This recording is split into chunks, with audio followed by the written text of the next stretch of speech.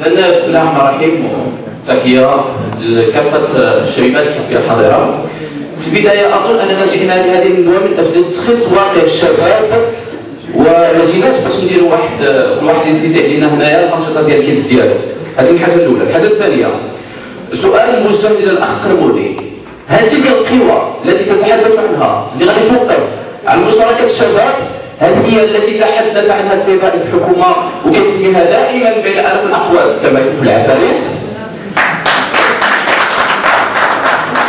وأعود إلى المرجعية الإسلامية. المرجعية الإسلامية هي ليست حكر فقط على حزب العداله والتنميه وإنما هي مرجعيات المغاربة. كاملين باعتبار باعتبار كان أيضا مقترحاتكم التشريعيه